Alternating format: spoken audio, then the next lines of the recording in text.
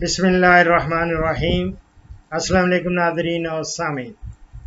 سلسلہ ہے tunnel farming کا اور ٹنل فارمنگ میں میں نے مختلف چیزیں آپ کو پہلے پیش کی خاص طور پہلے تعارف بتایا، پھر اس کی مختلف ٹنل کتنی قسم کی ہوتی ہیں، پھر زمین کی تیاری پھر آب پاشی، پھر درجہ حرارت، اس کے بعد، میں نے کھادوں کا استعمال اور بلند جو ہائی ٹنلز ہیں، اسی طرح واک ان ٹنلز اور اس کے بعد لو ٹنلز میں اور ان کے بعد آپ کو پرنسپل بتائے کہ گولڈن پرنسپلز کون سے ہیں، ایک بہترین ٹنل فارمنگ کرنے میں۔ تو ان ٹنل فارمنگ کو چونکہ ایک ایک ٹنل کو لے رہے ہیں، تو پہلے لیتے ہیں آپ یہ ہائی ٹنلز کو۔ ہائی ٹنلز میں چونکہ میں نے آپ کو بتایا تھا، کھیرا لگایا جاتا ہے ٹماٹر لگائے جاتے ہیں، گیا کدو لگایا جاتا ہے، اور اسی طرح کریلا لگایا جاتا ہے۔ نارملی یہ فصلیں جو ہوتی ہیں، یہ چار، یہ لی جاتی ہیں ہائی ٹنلز۔ تو اب ہم نے دیکھنا ہے کہ ایک ہائی ٹنل جو ہے اس کے اندر آپ نے پودے سے پودے کا فاصلہ، قطار سے قطار کا فاصلہ اور چوکے لگانے کا وقت کون سا ہے یا ٹرانسپلانٹیشن کرنی ہے پودوں کی منتقلی تو یا نرسری کاشت کب کرنی ہے، وہ یہ ساری چیزیں میں آپ کو اس نشست میں دوں گا۔ ہائی ٹنلز میں یاد رکھیں کھیرا اگر لگانا ہے تو اس کا قطار سے قطار فاصلہ آپ نائنٹی سینٹی میٹر رکھیں اور پودے سے پودے کا فاصلہ تیس centimetre thirty centimetre اور بیج سے چوکے لگانے کا وقت جو ہے پندرہ اکتوبر سے لے کے پندرہ نومبر تک ہوگا اور اسی طرح آپ یہ کھیرا کا ہو گیا اور اس میں پودوں کی تعداد اگر ہم دیکھیں گے تو ایکڑ پورے میں کوئی کھیرے، کھیروں کی تعداد ہو جائے گی کوئی چودہ ہزار نو سو چھہتر۔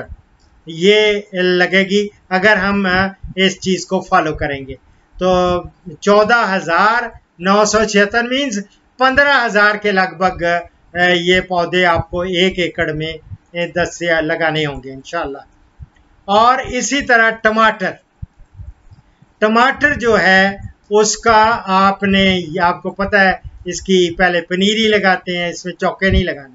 پنیری لگاتے ہیں، پنیری جو ہے، اور اس کی میں آپ کو بتاؤں گا کہ کس وقت آپ نے اس کا منتقلی کا وقت کیا ہے۔ آپ نے یہ ہے کہ قطار سے قطار کا فاصلہ آپ نے رکھنا ہے یہ ٹماٹر میں نائنٹی سینٹی میٹر۔ نوے سینٹی میٹر یوز کا رکھیں اور البتہ کھیرے میں تو ہم نے تیس سینٹی میٹر کہا تھا نا، پودے سے پودے کا۔ تو اس میں چالیس سینٹی میٹر کر دیں، پودے سے پودے کا فاصلہ۔ اور یہ مڈ نومبر میں آپ نے اس کی پنیری جو ہے وہ منتقل کر دینی ہے۔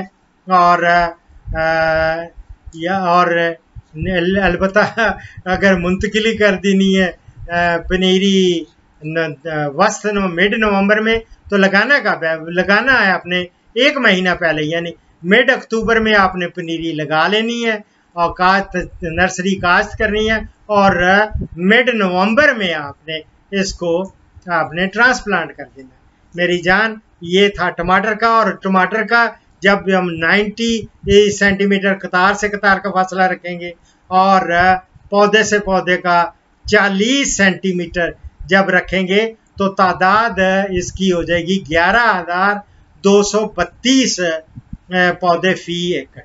اور اسی طرح پھر آپ نے گھیا کدو۔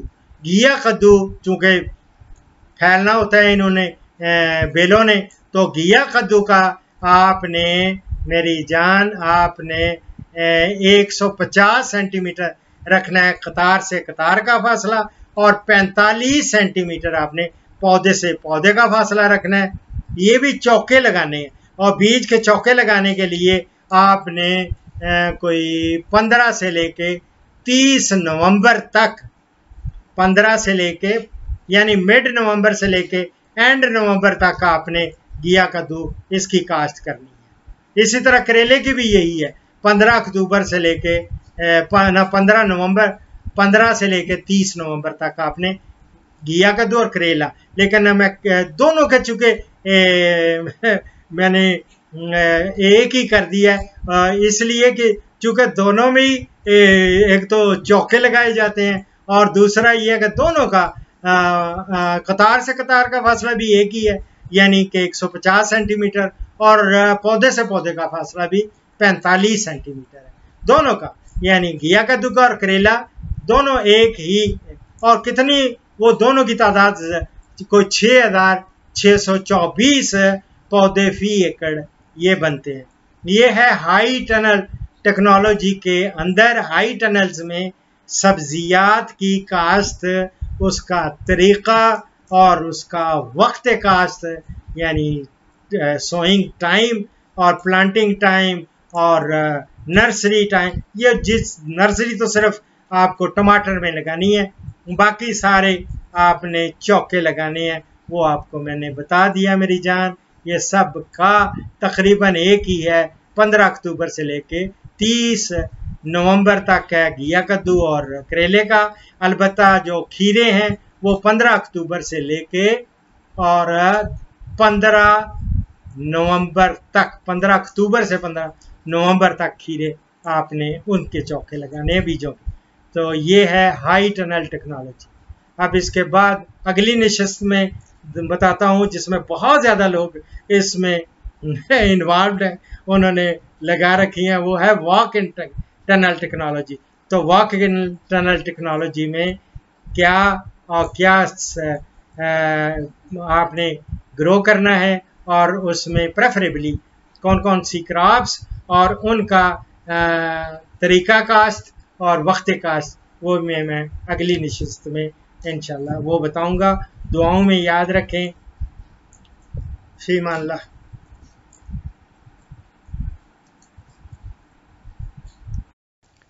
اس پروگرام کا اختتام قرآن کریم سورہ الصف کی عیسائیت کے ترجمہ پر کر رہا ہوں۔ اللہ رب اللہ رب العزت نے فرمایا اے ایمان والو، تم وہ بات کیوں کہتے ہو جو تم کرتے نہیں ہو؟ اللہ کے ہاں یہ بات بڑی ناراضی والی ہے کہ تم وہ باتیں کہو جو تم کرو نہیں۔ صدق اللہ العظیم۔ دعاؤں میں یاد رکھیں فیم اللہ۔ پاکستان، ہندوستان اور بنگلہ دیش سے کالز جمعہ کے سوا روزانہ صبح گیارہ سے دوپہر ایک بجے تک لی جائیں گی اور یورپ اور بیرون ممالک سے کالز شام چار بجے سے پانچ بجے تک لی جائیں گی۔